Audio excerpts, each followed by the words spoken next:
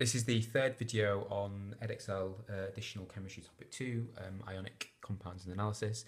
And in this video, we're going to be talking about solubility, or does this salt dissolve or not? Now, this first section is a bit of a pain because you simply need to um, go away, um, write what we're going to go through out and remember it. And you must do that. Um, sometimes in an exam you will be lucky and they will give you um, whether these salts dissolve or not. But um, sometimes you will just be asked, does this salt dissolve, or which of these is an insoluble salt? Um, so it really, really pays to spend tw- uh, 10, 15, 20 minutes um, learning these because then you're going to get marks on it. Okay, you're going to be kicking yourselves if you don't learn these and you don't get these marks. Okay, so there's two types of ionic compounds or salts when it comes to solubility. Um, first off, there is those, those which always dissolve,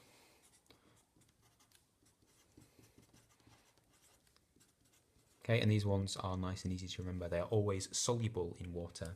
Okay, um, easy way to remember these is to remember the the uh, mnemonic SNAP, which I've written far too small. Okay, so if you remember SNAP, you're going to get these right. Okay, so what SNAP refers to is any sodium salt. Okay, will always dissolve in water. Any ammonium salt. So, for example, ammonium nitrate will dissolve in water. Any potassium salt will also always dissolve in water. Now, these are our um, our metals um, or our, our cations, sorry, sodium, potassium, ammonium. Um, there is also an anion or a negative ion, which is all nitrates, also dissolve. Okay, so sodium nitrate will dissolve in water, sodium chloride will dissolve in water, sodium phosphate will dissolve in water, any sodium salt will dissolve, any nitrate will dissolve, ammoniums and uh, potassium salts will all dissolve. Okay, so remember SNAP, and you have got that in the bank. Okay, the harder ones are the ones that sometimes dissolve.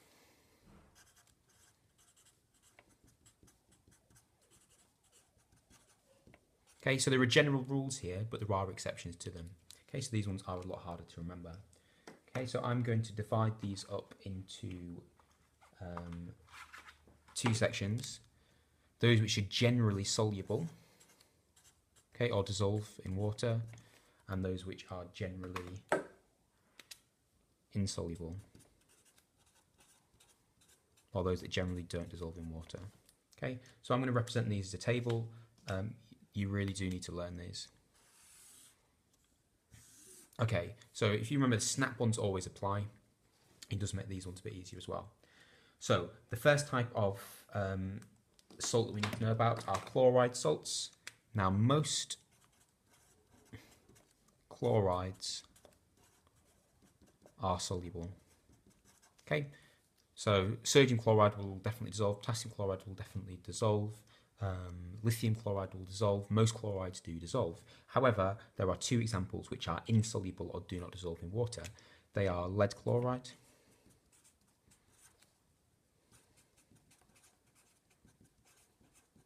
and silver chloride. So they are our odd ones out here. Lead chloride, silver chloride do not dissolve in water. Okay, second ones that we need to know about are sulfates. Okay, now as um, for the chlorides, most sulfates do dissolve in water. Okay, exceptions to the rule. Once again, lead sulfate. Okay, lead is an exception. Okay, so I always remember, um, just because I, again I've seen it a few times, that lead salts tend not to dissolve. Sulfate. Okay. However, here there are a couple of um, other examples as well. Barium sulfate is insoluble. It does not dissolve. Okay, and this is actually a really important one which we're going to talk about at the end of this video. Okay, so I'm just going to draw a square on that. I'll come back to why in a, in a, um, in a while. The last one you is about calcium sulfate does not dissolve in water. Okay, so in that case, there's three exceptions to the rule. Okay. there are two examples we need to know about of salts which are generally insolu- insoluble. Okay, so most carbonates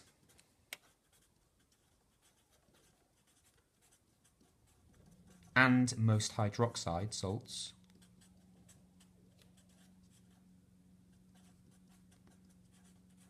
do not dissolve in water. Okay, so calcium carbonate, for example, does not dissolve in water. Now, the exceptions to these um, to this rule, um, you don't actually need to learn them any differently um, to what we had before because the exceptions just come from our snap rule here. Okay, so if you remember this snap rule first, it makes it a bit easier. Okay, so sodium carbonate will dissolve in water because it is in the always dissolve list. Sodium hydroxide will dissolve in water. Ammonium hydroxide and carbonate will dissolve. Potassium carbonate and hydroxide will dissolve. So that does make it easier to remember. Okay, and it just gives us one, two, three, four, five exceptions to learn. So please write this out. Okay, please learn it, and it will hopefully get you at least a couple of marks on the exam. Okay, the next thing we are going to talk about and discuss is the idea of precipitation, okay, and precipitation reactions.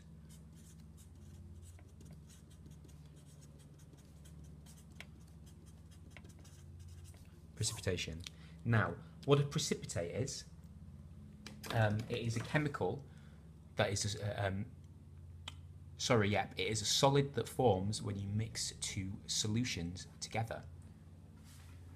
So let's actually um, look at what that means. Okay, we're going to use our table again.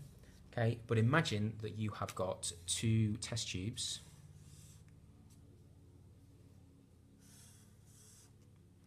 Both filled with a solution okay, of salt dissolved in water. So, for example, we could have, um, let's say we have got sodium chloride.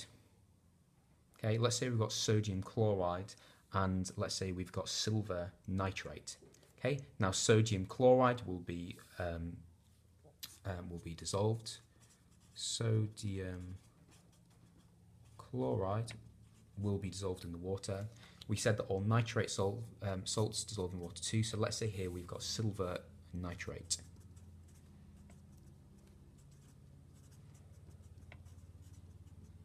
Okay. What we are going to do okay, is mix these together. Okay, and when we do that, we are going to form, um, sorry, we are going to form sodium nitrate, which does dissolve, but we are also going to form silver chloride. Okay, if we look back to our list, silver chloride is one of our insoluble salts. It does not dissolve. We are going to get a solid, okay, or yeah, we're going to get a solid that is formed when we do this reaction. Okay, we call this solid a precipitate. Precipitate of silver chloride.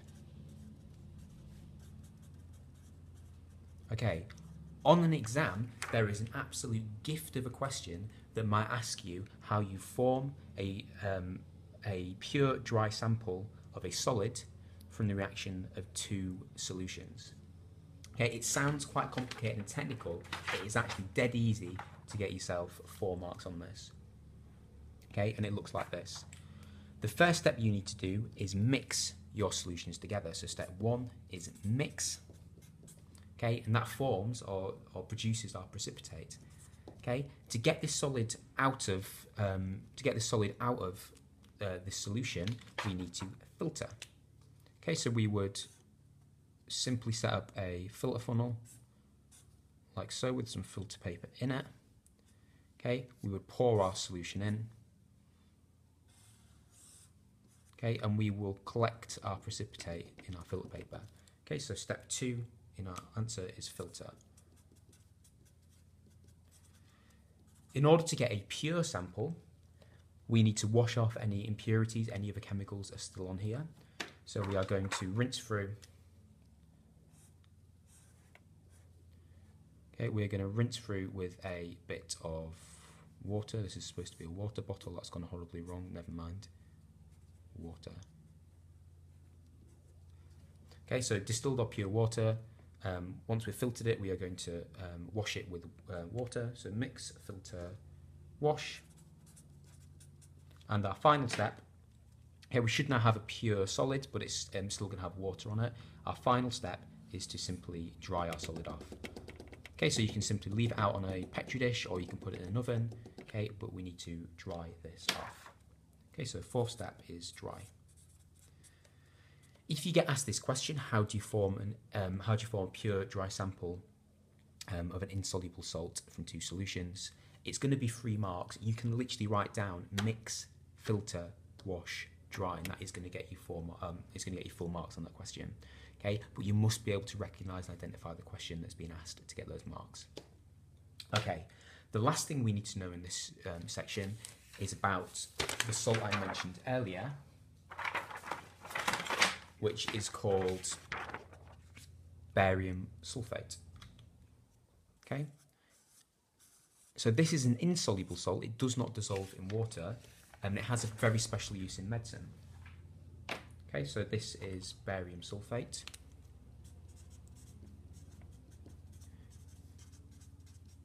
Okay, and actually barium sulfate is used um, um, used in X-rays, and it is given to patients in the form of a drink, okay, or a barium meal you call it. And what it does, is it passes through the um, passes through the body. Um, it doesn't dissolve um, into uh, the blood, it doesn't pass through any barriers, it simply passes through the digestive system. Okay, and so you will have barium sulfate that is located at various points in your digestive system. Now, if you x ray this patient, okay, barium sulfate, barium sulfate absorbs or is opaque to x rays. Okay, so similar to bone, you see um, you see a very strong white area here where X-rays have not passed through. Okay, therefore it can be used to identify things like tumours in the digestive system or other um, problems with a patient's digestive system. Okay, so that's the first reason it's used. It is opaque to X-rays. The second reason, because it is insoluble, because it does not dissolve, um, it does not enter the blood. So it is insoluble in water, so does not enter the blood. Okay, which is really, really good because if it did, it would kill you. Barium salts are generally toxic. However, because it does not dissolve in water, it can't get in your blood, so it won't, cause you any damage. It will simply pass straight through your digestive system and out through your